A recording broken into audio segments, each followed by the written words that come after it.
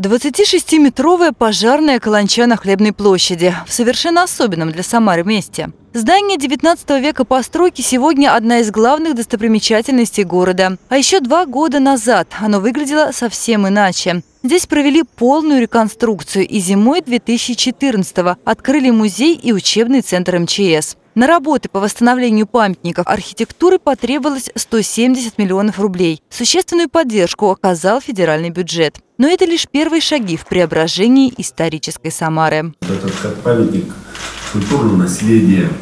На самом деле э, исторические части города придает некий шарм.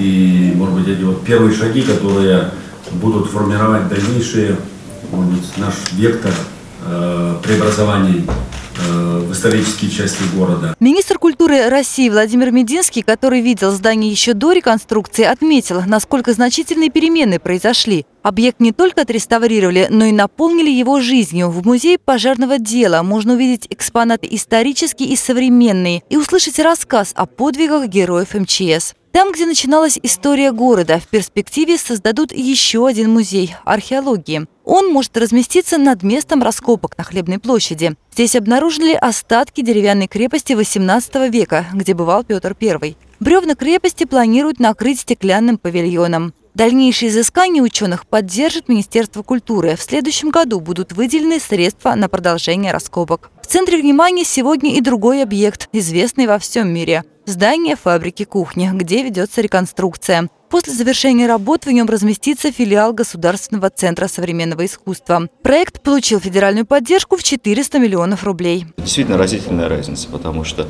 мы были в разрушенном де-факто несуществующем объекте, который бережливо восстанавливался. И, и дело не просто, что там восстановили стены, старинную кладку с кирпич, пронумерованными кирпичами. Дело в другом, в том, что это наполнили жизнью. То есть это объект, который имеет функционал. Министру культуры России представили еще более десятка проектов восстановления исторических памятников, работа над которыми уже идет. Это издание бывшего коммерческого клуба на улице Куйбышева и памятник деревянного зодчества «Дом купца Маштакова» и создание ретро-отделения почтовой связи на Молодогвардейской. У нас большое количество других планов, предложений, которые мы сегодня презентовали министру. Очень рассчитываем на его поддержку.